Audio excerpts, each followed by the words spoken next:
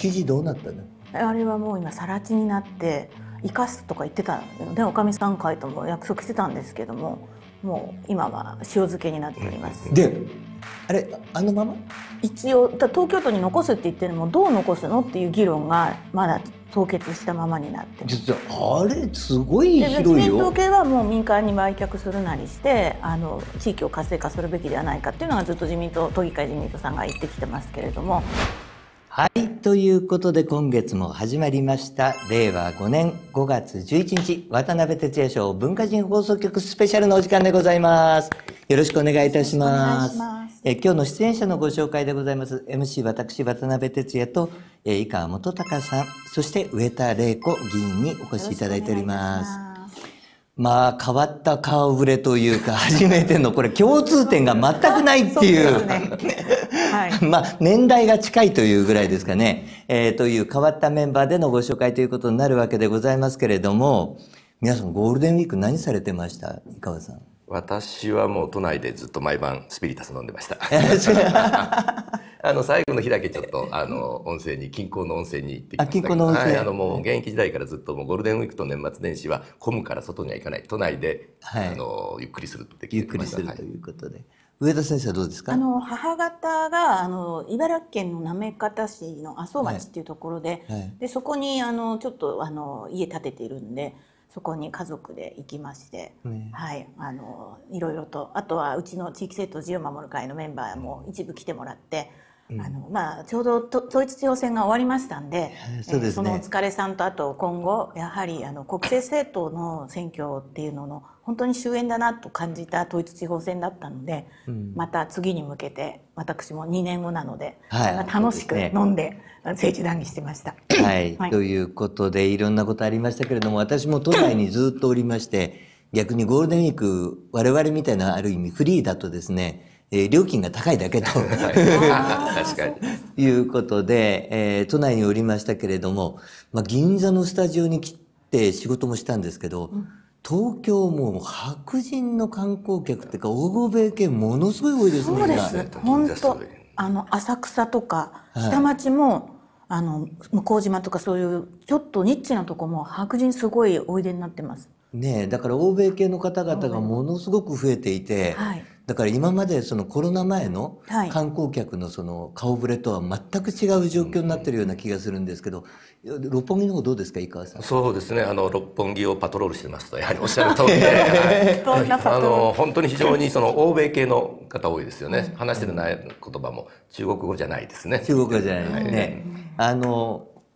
まあ、中国人って団体観光なので、基本的には。団体観光客を今受け入れておりませんので出してませんしね、中国側も。で、で団体観光客だと、あの、みんなこう、バスで移動するんですよ。はいはいはいでこの銀座って駐車場がなかったんですね、銀座6ができる前。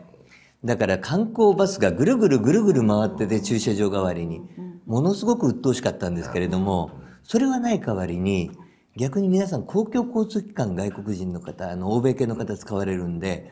まあ電車の中とかですね、バスの中も外国人だらけっていう状態になってました。いや東京駅も本当そうですね、新幹線乗ろうとしたらですね、ええ。もう欧米系の人ばっかりですね、あの改札からふあのホームまで。はい。だから多分もうそろそろこれキャパシティオープンじゃないかなと思って見てるんですけどね。あの、まあ団体観光客だと観光バスで移動するんで、逆に言うと街に出てこないので、公共交通機関とかは混まないんですが、あの、公共交通機関が今混んじゃってて、京都なんか大変そうなんですよ。京都の地下鉄とかで皆さん荷物が多いんでもう通勤で非常に支障が出てあの観光政策って果たしてプラスかっていうのは、まあ、あの私の仲間の地域政党の京都党が常に言ってました、言ってますね。ですから観光政策っていうのも観光郊外になってしまったら全く意味がなくて、あの観光業って GDP の3%満たないぐらいなので、そうですよね、うん。言われてみる。そういうあの見地もなくなんかどこかの東京都知事がインバウンドだなんだって言っていやいやはっきり言ってますけれども。い。や、はい。だって GDP の3%のために本来必要な重要なインフラ関連とか、えー産業。例えば出張行きたいサラリーマンが出張行けない、経済活動を阻害するってことですねそうですそうです。民間の、うん。ホテルが取れない旅券が取れない飛行機取れないってことになると、はいはい。本来自由にやらなくてはいけない本来のビジネスがおろそかになっちゃうんでこれ大きな問題ですよね生川さん。どうですか？いや本当にそうですね。もうあのその今おっしゃってたの交通関係の中でもそのホテルホテルの価格がですねもうあの欧米並みの価格になっちゃってるもんですから、うん、あのちょっと出かけようとしてもですね一泊56万とかですね取られます。京都あたりのちょっとしたホテル泊まろうとしたらもう十数万ですからあのたまりませんよね。うん、いやだからねあのまあそうやって娯楽で行く分にはまだいいんだけれども、はい、ビジネスマンがビジネスで行かなくちゃいけないことあるじゃないですか。はい。はい、で取れないんだそうですよ。だからそれじゃねダメだからやっぱりどっかで絞り込んでいかないとですね逆に、あのお客さんの数を受け入れに合わせて。いけない状況なんですけどそういう話が全く出てこないですよね。むしろもうコロナ負けたからもうイケイケどんどんっていう感じで、まあ、あの結構ねそのそうしたインバウンド関係を得意とする代議士や政治家さんもいらっしゃるので協会もあるし、でそこにしっかりと公費が公金が回るようになっているので、そのスキームがなかなか崩せないのではないのかなと、うんまあ観光協会さんに必ず委託しますから。まあ、二階さんのところがね、トップなんですけどね、前回年はね。そうなんですよね。はい。で、そのね、えっ、ー、と、親しくさせていただいております、うちの都知事も、もう家習いでございますので、ねはい、そうですね。はい。まあ、だから、あの、今、自民党内でいろんな動きありますけど、簡単に言うと、うん、えー、自民党内の、えー、いわゆる政権内与党、党内与党っていうのが、岸田派、麻生派、ちょっと距離を置いて安倍派、そして茂木派なわけですよね。それに対して党内野党が菅グループと二階派と。で、そこに連なってるのが維新であったり、小池さんであったりという、公明党であったりという構図なわけですよ。だから今逆にその公明党と自民党との関係がちょっとおかしくなってるのも、パイプ役だったのが菅さんだったからで。そうやって見るとですね、結構日本って二大政党制で機能してるのかな。ゴミですからね。ゴミね。なるほどね。自民党の中のが二大政党制になっちゃってる。そう。それはすっごいすっきりしますね。納得ですね。ねはい、だから都議会もあの公明自民が意外に仲が悪くて、はい、で公明党と小池さんがセットになっている感じです。ですはい、はい都民ファーストさんと公明党さん仲いいじゃないですか。はい、はい。で、大阪に行くと、大阪維新さんと公明党さん仲がいいわけですよね。うん、ぞっとしますね、はい、そのコンビはね。はい。で、だから菅さんのグループと二階さんのグループがくっついてますから、はい。菅さんと維新は関係がいいわけじゃないですか。はい、はい、はい。そういう構図になってます、ね、当初はでも、あの、小池さん、最初の時は、えっ、ー、と、維新は本当乗りたかったんですよね、うん、その時から、はい、だけれどもダメだってブレーキを踏んだのが菅さんでで維新は小池を応援できな小池知事を応援できなかったっていうのが総書なんですけど、うん、まあ、状況がこう変わってきて今や急速に近づいてるってことなんでしょうね。うん、まあ大阪と東京という地域の差があるもんですから、はい、東京で維新と、えー、都民ファがくっつくのはよろしくないと、うん。はいはい、政治的にですね、はい、数の問題で。えーだけれども大阪は大阪で東京は東京で別である意味やる分には。やる分にはある意味とあの大阪維新の役割をある意味都民ファーストが東京都議会ではやってるというような。まあまあ大阪のね方も知ってますけどあそこまでは働いてますてかオールイエスです知事の。でもそういう意味では確かにそういった一翼を担ってるんですよね。類似系にあるのかなという気は。劣化した類似系 でも、うん本当に。まあ劣化か対価かよくわかりませんけれども。まあでもちょっと東京への来てはいただきたくないなと、そっちに取りには来ていただきたくないなとは思っております。どうですか？いやー、ね、なんとも言えないですね。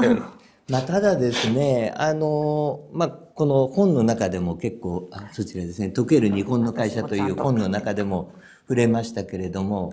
今世界が急激になんかこう戦時下に入ってる感覚ありません、はいで戦時経済ということになると小さい政府が成立しないんですよね、残念ながら。例えばあのエネルギーガスなどを買うにも大規模でロットで買わなくちゃいけないので民間任せでは買い負けしちゃうんですよね。だからやっぱりあの維新の政策というか維新とかその菅さんの好きな改革路線えー小池さんも好きなのかもしれない。本当に改革かどうかは別にして、うんまあ、その時目立てばいいので またコロッとかあのコロッと変わります。場所が変わると。うん立ち位置が変われば、ええ。えーそうですよね、ええ。まあ、小池さんって本当に都合が悪くなるとヒューッと消えてって、はい。自分に出番が来たなっていうとどどやーっとドヤーってきますからね。あのコロナの時もそうでしたよね。恥ずかしげもなく普通あこの間ちゃったからちょっとここはないんですよもうもうないことになるんです。もう全く。で築地どうなったの？あれはもう今更地になって生かすとか言ってたんだよねおかみさん会とも約束してたんですけどももう今は塩漬けになっております、であれあのまま？一応だ東京都に残すって言ってるのもどう残すの？っていう議論がまだ凍結したままになってます。実はあれすごい広い民党よ系はもう民間に売却するなりしてあの地域を活性化するべきではないかっていうのがずっと自民党都議会自民党さんが言ってきてますけれども、一旦立ち止まり東京都の貴重な財産だから持ち続けながらも民間を活用するというそれってなんかどっかで聞いた神宮外苑みたいになっちゃうことみたいな話でね。何するんですかね。もう今でも大変紛糾してますね。やっと、それでもなんかゆり子可愛いとかゆり子頑張ってるっていう人が多かったんですが、やっぱり神宮外苑が彼女の中では、あの、あれ民間事業で私関係ないっていう立ち位置でいいられたんでしょうけど、認定出すのは都知事なので、うん。民間の暴走を止めるのは政治の力行政の力ですからそのために許認可を東京都が持っているのに、まあ、ほぼ、えー、とそのまま反抗するような形になってそうそでそこでババックラッシュが来た上に、まあ、政治的立ち位置は賛同するかしないか別として、まあ、世界のミュージシャンである坂本、えー隆一さんが、えー3月の頭に、えー、とお手紙を書いてで届いて10日後に亡くなるんですよね。だけど小池さんは「私じゃなくて神宮に渡したら」なんて言ったら半月後に亡くなっちゃったんででさすがに世界中が火をさすがに吹いて日本もそうですけれどもそれでニッチもサッチもいかなくなったら三井をつぶられて「あんたなんかちゃんとやんなさいよ」って言ったら 新聞に全面広告ドーンみたいな感じで。出てであといろいろツイッター広告をし始めるのやればやるほど話が違うって他も炎上しちゃって、火消しに躍起だけどもう消せないなってあの末期の舛添さんを見ているような感じで。うんうん。まあねそんな木恨まなくたっていいんですけどうね、ん、本当うちの地元の葛西臨海水族園の木も切って、はであの大蔵をね親子で建てたあの谷口義雄先生の,、のあのそれ多分ね作った設計者知らないんです小池さん。それぶっ壊すことを決めた頃に大倉が完成した時に古文をまあないがしろにでもないんですけどちょっと横置いといてタタって駆けつけてパチンと谷口先生の隣でテープカットしながら谷口先生設計のドームを壊すというので水族園。それまた私もいろいろ測ってでハーバードイェール大学の教授から異例の英文の講義が届いて、一応残ることになったんです。で今回海外メディアもかなりあのゴールデンウィーク中にも問題になって騒いでるんですよ。そうですね。でさらに今問題になってるのがあの太陽光エネルギーの余剰なんですよね結局電気って多すぎても少なすぎてもダメで捨てる電気の量がものすごい増えちゃってるらしいんです。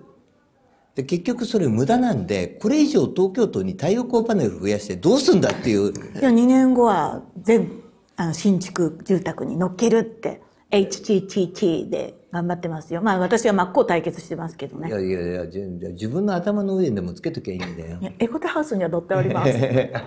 そう彼女のお家には乗ってるんですよ。でも一番彼女はあのい一番美味しい時に高橋先生もそうでしたけど一番美味しい時に、まあ、日本製のシャープがまだ作ってた頃だと思うんですけれどもそこはもうちゃんと回収もできる。もう今20年ぐらい経ってる人たちはあの美味しい思いできますけどこれからつける人はまあペイは絶対にしないという。ペイは絶対にしないし、まあ、ウイグルの問題もありますから、、はい。つまで材料が入ってくるかわからないのにですよね。私はね小池さんはねあの環境大臣だった時に何の根拠もなく26度となあのエコで夏のエアコンをですね26度ってあのあれでもう仕事してた頃ですからたまったもんじゃないですよ。すね。どこ行っても暑いです。まあねその時期にスーツ着てるのが悪いって言われればそうですけど、まあ、一応日本のねまああのサラリーマンの制服みたいなもんですから、で新幹線乗っても26度でしょ、もうね汗引かないわけですよホームであなな夏待ってる間にですね、やっと京都過ぎたあたりで汗が引いてくるぐらいな形でね 東京駅から乗降りるわみってたいな。まあ、あれあのあれ以来私は小池、えー、百合子は大っ嫌いなんですよね、もう。そもそも東南アジアとか行ったらもうガンガンに 寒いぐらい エアコン炊いてんのにですね、炊いてんじゃない。やエアコン効かせ効かせてんのにですね、あの労働生産性はなんだっけな。1度上がると何パーセント下がるのかな。ちゃんとデータも出てるわけでして。うん。まあそういったとあの頃から嫌いだったですね。はい。まあ、あの、環境大臣経験者ってろくなのいないんですよ。